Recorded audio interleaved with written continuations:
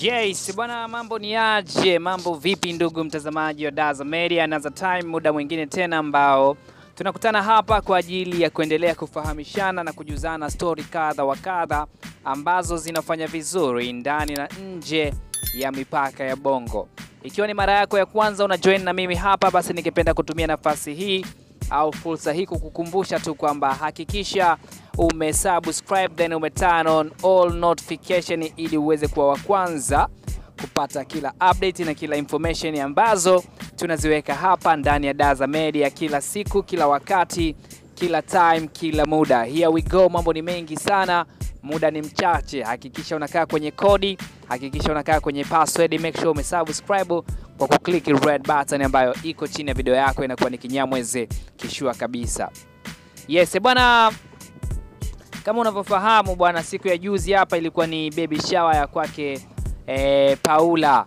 E, si kwamba Paula bwana amebarikiwa kupata mtoto wa kike e, na mtoto wao anaitwa anaitwa nani? Mtoto wao jina lake bwana limenitoka kidogo.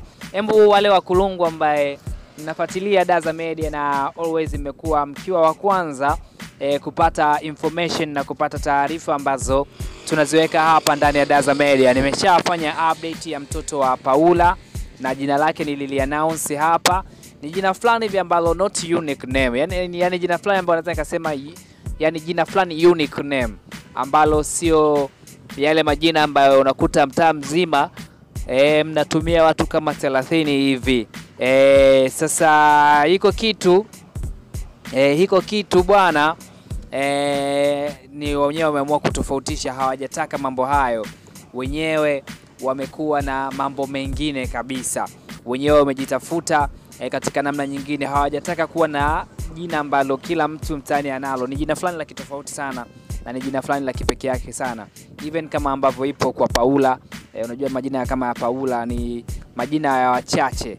Hebu e, nitajie wewe ushakutana na mtu anaitwa Paula? Kama ushakutana naye, niambie hapo kwenye comment kwamba nimeshawahi kukutana na mtu anaitwa Paula, lakini pia E, mimi binafsi niseme ukweli, sijawahi kukutana na mtu anaitwa jina hilo. Labda ni ushamba wangu na sio mtembeaji sana, labda ni mtu fulani hidden mtu wa ndani, ndio maana sijakutana na majina hayo. Lakini kuna majina katika jamii zetu, majina yanakuwaga unique sana, na unakuta ni wapo watu wachache ambao wana majina hayo, au ni watu wachache sana ambao wanaitwa hivyo. So mfano ndo hawa wakina Paula lakini jina la mtoto wa Paula pamoja na Mario e, ni jina unique pia. Sasa siku ya juzi ilikuwa ni baby shower e, nikisema baby shower najua watu wengi mtakuwa mnanielewa, lakini kwa faida ya wachache ambao sisi tulikimbia shule kwa kuona begi la madaftari ni zito kuliko kiloba cha simenti na begi la madaftari ni zito kuliko uzito wa tofali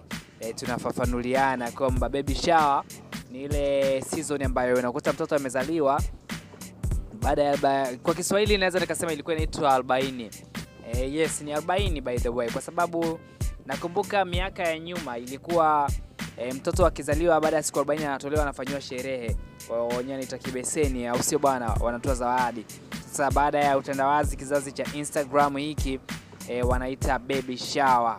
This time around wanaita baby shower. So hii baby shower hii e, imekuja kuwa ya moto sana na imekuja ku, ku, ku, ku, kutengeneza ku, ime, yani imekuja ku, ku, kupindua ile ya zamani uso bwana, yani ile beseni 40 sijui ni ya watu wa Uswazi, lakini washua e, washua e, wanaita, wanaita baby shower. Kwa hiyo hawa akina Marios unajua ni washua e, walifanya hiyo hapo kwa hisani au kwa niaba ya mtoto wao ambaye anaitwa au anafahamika kama jina lake limenitoka, nimekwambia nikumbushe katika comment E, hapo chini utakomentisha kinoma noma, limenitoka bwana, jina lake unique sana, yani naweza nikasema pia ni jina la Paula na hili ni majina ambayo unique sana.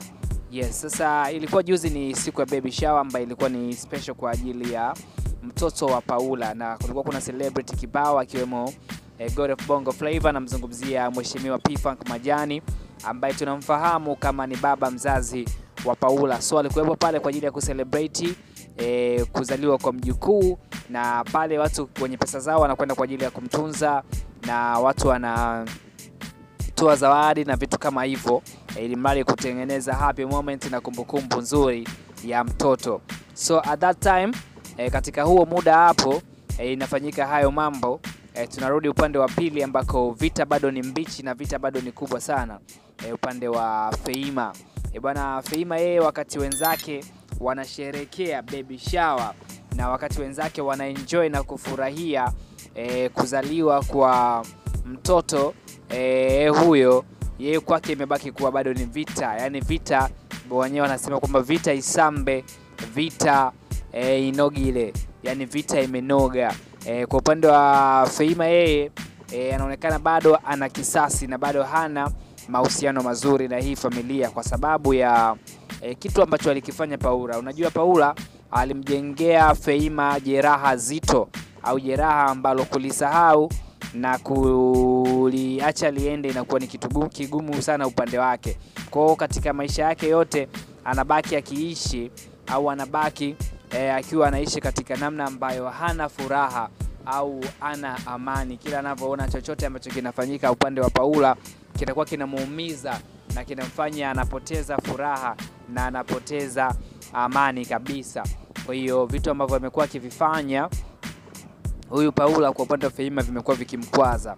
Kwa hiyo hata hii siku ya Ijuzi wakati watu kibao wamealikwa e, lakini yeye hakuweza kutokea, na licha ya kuto kutokea tu aliposti e, kijembe kupitia ukurasa wake wa Instagram na kusema kwamba wakati hawa wanasherekea e, kuna watu wengine e, wanalea wanasherekea kulea e, au kutunza watoto wa watu wengine.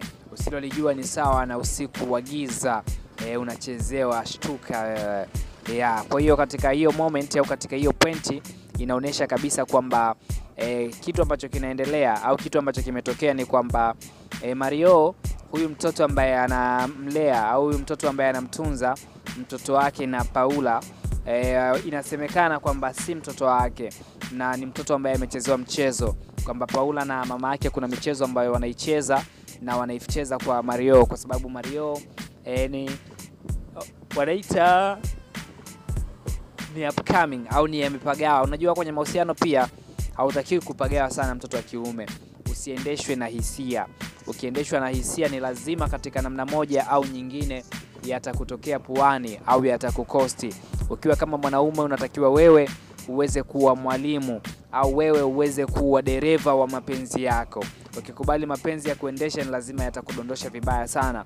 Kwa hiyo Mario inavyoonekana ni kwamba yeye amekubali mapenzi ya muendeshe na ameshindwa kabisa kuweza kumcontrol e, na kuweza kucontrol moyo wake e, amejikuta amezama katika penzi la Paula na chochote ambacho Paula anakisema huwa e, anakifanya kwa wakati. Hata ilo duka la Sinza e, ni duka ambalo amefunguliwa e, na Mario Paula, yaani Mario ndo mwenye ile duka lakini e, ali anatambika anayefahamika ni Paula na Mario hana sauti yoyote, ameshapenda na anasikiliza chochote ambacho anaambiwa. Na kwa watabiri wa mahusiano wanakwambia kwamba kama Mario ataendelea na hili penzi e, kwa miaka mingine miwili au mitatu mbele, basi inaweza ikamkosti sana, pengine hata mziki wake au nafasi yake katika kiwanda cha mziki wa Bongo Flava, na atakuja kupoteza na atakuja kupoteza kinoma noma. So e, kutokana na hayo